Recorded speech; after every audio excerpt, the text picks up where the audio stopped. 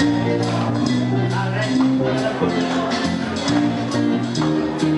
me